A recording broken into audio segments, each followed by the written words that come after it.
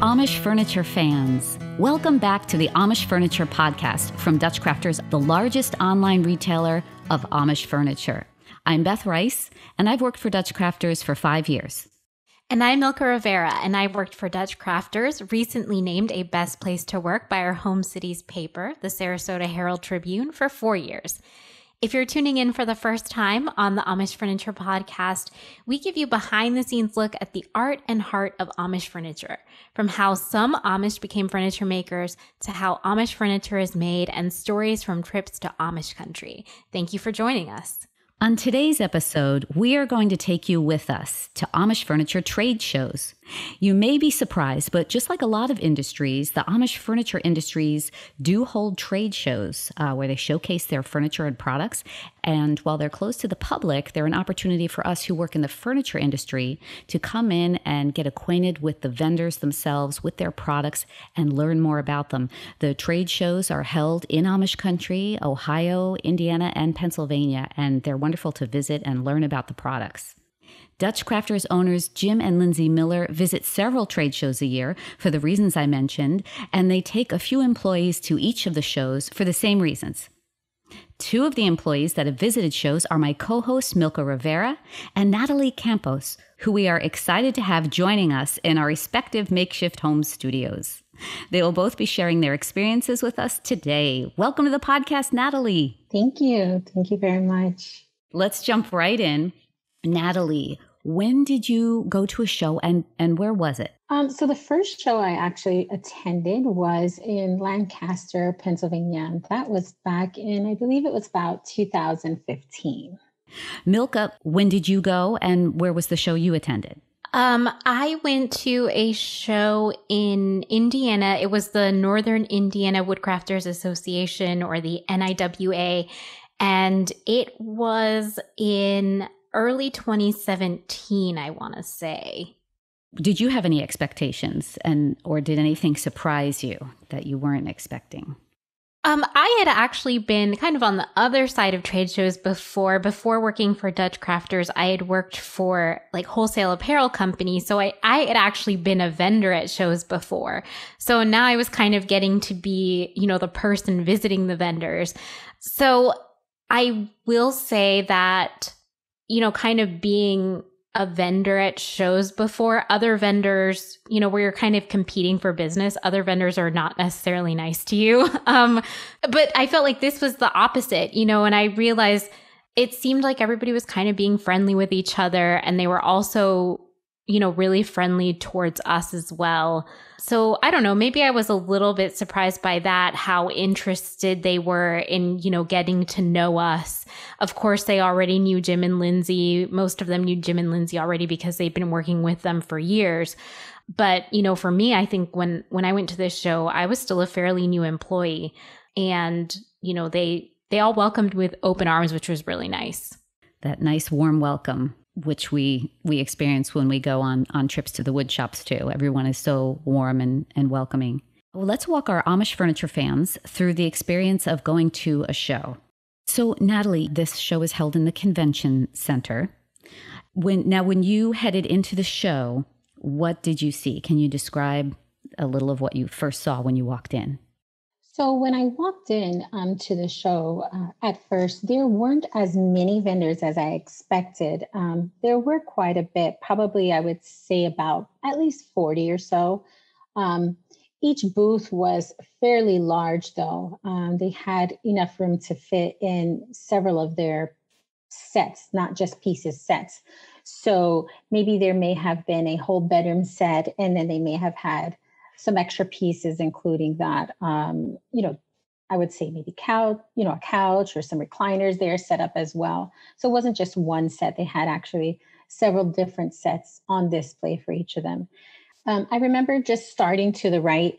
Um, we walked down the aisle; it was just half an aisle there, and we actually seen some of the builders there. We started talking to them, and Jim and Lindsay would start communicating with them, but it took so long. We were talking to them for about an hour. So Scott, um, Heidi and I, we all went together. We started walking around, taking a look at all the other vendors and see what they had to offer, see if we knew any builders in that, you know, in that convention center that we currently worked with. as we walked down that first aisle that I mentioned to you, there was a beautiful display of the hats, like the Amish hats, oh, along yes. a windowsill. And I took a picture of it. There was probably about, I think there was about five hats, and it was just so beautiful the way they were all sitting there displayed. Mm. And then the sun was shining through. So it was such a beautiful image. I took a picture of that and I've always kept it. I'm glad you got a picture of that. I would like to see that. Sure. yes. Was there a favorite booth uh, that caught your eye at the show? Um, so there was a few other vendors that I do remember working with there. Um, Smucker Woodworking was there, and he had some of his displays, gun cabinets there displayed. But he also came up came out with a brand new like curved bar. So I remember seeing that. Um, it was huge. It looked like it could just be in a casino. There it had like all gold trimming and um, and I do remember seeing uh, Y&T he had a lot of his products um, on display, some living room furniture there. Uh, so I was looking at the quality and just kind of comparing, you know, the different quality from each vendor and what they offered, what some of their, you know, what they did in their finishes uh, versus their uh, um, construction of each like drawer and um, hardware and things like that. Was there any specific decor you noticed? You know how they set up their area with the products, and then sometimes they have really neat decorations and that type of thing. Yeah, I remember um, Truwood actually had a really nice setup there. Um, their display with their kitchen islands and the tables there. I remember that that was really nicely set up. I think there was a Nook set that they had displayed there, and they were kind of showing us how to open some of their kitchen tables, um, you know, with the configuration of the slides and things like that. But that was a really nice setup that they had there. Sounds nice. Now we're there from from Dutch Crafters to look at the new products, and the vendors are there to show us what they have been working on. So you mentioned Natalie that um, you're looking at, you know, you're kind of you're comparing the quality of the items, the features, um, questions about the stains. You you posed. Um, what other things did you talk about with vendors, if if anything else, as you were going booth to booth to find out about the products? Uh, we kind of just spoke with them a bit, mostly about like the construction. I would say, especially like drawer boxes. Um, we talked to a lot of the uh, builders there that made dressers, you know, how those were made, what wood was used inside those, because those are some of the features that us as sales staff, we really didn't get to see or display on our website. So it's really important kind of to relay that information back to our customers um, and let them know how those are constructed, what wood was being used in some of those products, and um, if they're stained or not. A lot of builders, you know, don't stain the inside of their drawer boxes. Some do and some don't. So it just was really important to share that information with our customers based on that particular product. Absolutely. That's such a big part of the uh, sales team um, their job, um, all these details. And I've mentioned this uh, in prior podcasts, but you know, we at um, Dutch crafters work with, I believe, just over 150 wood shops up there in Amish country. So that's a lot for you guys to um, keep track of, but so important that the customer know you know the product they're looking at and specifically what happens with the stain and what the drawer is made of and the features and that type of thing right yes definitely Milca, now we're going to turn to you. So, where did you fly into and where did you stay uh, during your trip? We flew into Indianapolis. Also, we almost missed our flight. So, like, Jim and Lindsay, I don't think came into the office that day. They were just like, you know, we're going to meet you guys at the airport. So, I remember we stopped for lunch and then it was kind of like we lost track of time, sort of thing. So, like the plane was already boarding and we had to we had to like walk out onto the tarmac to get onto the plane because it was also a smaller plane. So i just remember you know we get on the plane and it's like there's jim and lindsay like already seated in their chairs and lindsay said something like didn't think you guys were gonna make it. Oh my goodness. Late on the company yeah, trip yeah. almost. Oh my goodness gracious. Oh well, I am glad that you didn't miss the plane or miss the show. So take us in, take us through the door when you walk in. What do you see? Uh, so when we first walked in, I remember there was like a table to the left, and it was like a Niwa, like NIWA branded bag. and it was like a reusable grocery bag. I actually still use it to shop for my groceries now. And then when we first walked in to the right of us there was our vendor who does the kitchen the kitchen islands with the butcher block tops. Oh. Um and they had like a little bit of a smaller booth. But i remember just automatically like being impressed. Like jim and lindsay knew who the vendor was and automatically went over there to them and just started talking to them. And I just started looking around. And I mean, I had seen the furniture, right? Because we have it in our showroom, but we don't get to see every single piece you know, right. that is made. So I just remember being like, I need one of these kitchen islands in my house, even though my kitchen, my house already has a kitchen island. um, and I remember that vendor was also had created a like wood shop, um, uh, like a, a set for if you're like a woodworker that you can put in your garage. It was like a hutch for your tools and stuff, and it was a newer item. And I think we were all like just super impressed by it. And of course, he had you know decorated it with like a bunch of tools and stuff so that it would you could see what it like would look like in your own home and it was really really neat um i think i was like oh i need this too even though i don't do any sort of woodworking and never use any tools I just wanted that whole show. I was like, just get, just can you take everything take to my house and one of these and one of these? Yeah, yeah, exactly. it's really hard not to do that. I feel like I just because you can also shop the shows. Like there are some you know Amish uh, retailers who the, what they sell is like items that they purchase off of the floor at the shows. So it's like you can only get that one piece. It's not like you can do with us where you can customize. You know, you see something you like and there's options you can choose from, and you can customize it even further. But I just cannot imagine having to if you're one of those people like having to pick which pieces you know you want because i'm sure you have limited as a shopper you have limited items of you know you have a budget you have to work within. Because i just be like just give me everything. I think i've written a, somewhat about when I write about Amish furniture. I just it's it's an experience. I refer to it sometimes as it's such an experience because it just gives you such room to dream and to envision what you want to create. Um, yes, because of the availability of the customization. So. Um, so you saw kitchen islands and you saw some tool storage and yes. what other products were laid out at this show so to the left when you first walk in was one of our dining table vendors. And of course, Jim and Lindsay knew them. So they sat there and talked to them for a while too. And I was also there to, as a member of the marketing team, I was taking pictures. You know, I remember there were a bunch of, there were a few different uh, dining table vendors. I remember there was a children's furniture vendor. So you got to see some of the cribs and stuff. And the ones that turn from the crib into the twin sized bed, you know, as the as your child continues to grow. And then one of the vendors there, which was kind of towards the back area of the show, does the big conference tables that we have. Nice. Nice. I believe we have a picture of you and Lindsay and Mary sitting at a dining table at that show. Yes, um, that is Normandy. The Normandy. Oh my goodness. Yes, we we had gotten the Normandy in the showroom. It's a single pedestal, right? Yes, it's this beautiful sculptural single pedestal with like a round top and you can add leaves to it so it becomes more of like an oval style and you can add more people. I I want that dining table. With with all these fa- did you have a favorite booth or just everything?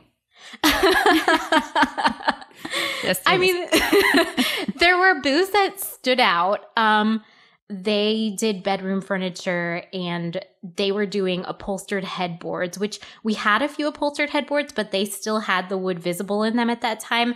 And this one, it has the wood frame, um, but it's completely upholstered. And they just did a great job, like decorating their booth as well, where they made it feel like they had it sectioned off so it was like you were in your own like little bedroom and everything and just the accessories that they included you know it felt like okay this is what my bedroom could look like. So that was really impressive. And i remember that they had um they did have goodies but i remember they had their own coffee that they roast themselves so they gave us like bags of coffee beans Um, and that was really nice. I love coffee. Oh, of course, this was also the show where the molasses cookies were there. It's our the booth that had the um, entertainment centers in it. Um, they had the molasses cookies, and so I mean that stood out. And then there was like a couple booths that I especially just like bonded with the owners of the company we went and sat down with them at one of their dining tables. And really, we were like standing there, and um, the owner goes, Hey, just come sit down at one of the tables. So we sat there, and they all sat at the table too. And it almost felt like we were just having, you know, like a conversation around the dinner table with like old friends. Um, and when they came to town, like a couple months later, you know, they invited me and, and the portfolio manager out to dinner. And the other booth that I would say that I, you know, felt like I formed a connection with was one that makes wind chimes. And I think it was because some of their wind chimes were huge. So I'm 5'1, I'm not tall by any means, but some of their wind chimes were taller than me. And I think I was just like so shocked by that. I was like standing next to him and making people take photos of me like next to these wind chimes that were taller than me. And I think they thought it was hilarious. So, um, you know, I ended up like, you know, I felt making like a strong connection with them too. So I need to see that picture. There's some I mean, we have so many great photos from from trips and things, but I haven't seen the wind chimes taller than Milca picture. I will see if I can find it. I know it is somewhere and I will send it your way. Please, I can't go forward without seeing that. Um, so that sounds like such a great variety to get to um, observe at the show. So when you were sitting at the dining table and you're just feeling like you're having an around the table conversation with the vendors, what are you all? What were you all talking about? It's kind of funny because they don't i feel like they didn't want to necessarily talk business. They just wanted to talk to us and kind of get to know us better and you know see how we're doing and that kind of stuff. We're the ones that were asking questions because there are certain questions that we need to know. You know natalie mentioned it's a good opportunity uh, for us to go because we get to ask some of those questions that you know customers ask us all the time. Um you know or sometimes you'll see something in person that you didn't realize had some sort of feature. So then it's like you have a question about that feature. Um, but it really felt more like they just wanted to get to know us better and continue to form, you know, those bonds with us. That's great. So, Natalie, um, knowing what you know now after having the experience of visiting a trade show, um, what would you have been missing out on, or how would your experience working with Amish woodworkers be different if you had not been able to attend these to attend a show? I definitely became a lot more humble in this experience, realizing that they are a whole different world. And that's kind of what I would try to relate to some of our customers when speaking with them. Um, that we are, they're not fast paced and they're always on the go. They enjoy their life, their the style that they have, their and just seeing that where they work um, in their shops because i not only went to the shows i actually went to their shops as well and seeing their setup there and how hard they work and what you know all the hand tools that they use there's not like machinery where they just punch in numbers and it's digitally made or cut. It's just it bec- you become a little bit more humble when you see things like that. So going there um, to the amish country as well you learn about their community and how honest and preserved they are you know, speaking with them and where they have come from and how long they've been in the business and how hard they work, it just makes you feel a little bit more appreciative that you have something to stand up for and work as hard, you know, through Dutch Crafters selling their products. I love that. It's it's uh it takes your work to a whole different level to feel great about the product you're representing and the people behind it and the work that they do. If you had not gone to a show, what would you be missing out on, um, or how would your experience of working with with Amish woodworkers be different if you hadn't gotten to meet some of them and, and witness the show? I mean, I I think it's just like anybody, you know, if you talk to someone for, you know, a while over the phone, but you never actually get to meet them in person, um, there's still like a little bit of a disconnect. Um, so it's just so lovely to get to meet them all in person and it really does kind of strengthen that bond. And then so it's like when you when you talk to them on the phone again you have you know what they look like sort of thing you know like you can picture them. Right. Um So I mean, yeah, I mean it's such a wonderful opportunity. I'm so lucky that I got to go on one of those trips, and I feel especially so early on, um, you know, working with the company, um, it's just such a great opportunity to, you know, kind of get to see how the Amish live in a way. I mean, it's a little bit different because it's a show, so you know, it's it, it's a little bit more business oriented. Um, but they do such a good job of like putting you at ease and just you know like we like i talked about before they just really want to get to know you it's not so much about like the business and they want you i think too sometimes i think you know they build these pieces and they're just so proud of them it's almost like they get so excited like because they want you to see what they've built yeah it's not even like in a bragging way it's just, i don't know it's just kind of like you know it's like a little kid like being proud of you know, something that they accomplished and they made sort of thing. So I don't know. It just, it really makes you enthusiastic about, you know, selling the product. Absolutely. And I, what you're um, relaying there um, matches uh, Natalie's experience somewhat when she spoke about how proud they are of what they they made, um, what they build, what they offer, you know, how true their work is, and just how humbled you are by how humbled we are by that um, that experience meeting them and and getting to witness a little bit of their way of life and just that slower pace. It's nice to slow down sometimes and and really learn about about uh, your product so so before we end today's episode natalie is there anything else you'd like to add about your trade show trips the only last thing I'd like to add is that hopefully COVID will be over soon so that we can um, take all of our sales associates uh, to Amish country so they can be able to share their experiences with you know some of our customers going forward. Yes, absolutely. That is a on everyone's wish list, I think. I hope that is something we'll be back to very soon. So let's see, Milca, is there anything else that you would like to add about about visiting an Amish furniture market before we wrap up today?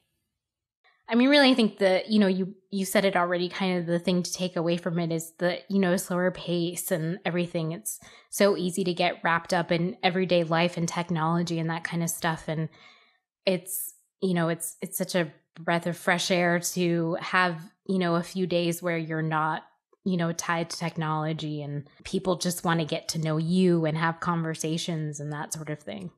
Absolutely. It just feels great to be around. And then, of course, the candy and the homemade oh, yeah. coffee and the cookies. Um, those the, the molasses cookies. Those things, you know, they don't hurt. They're just delicious things.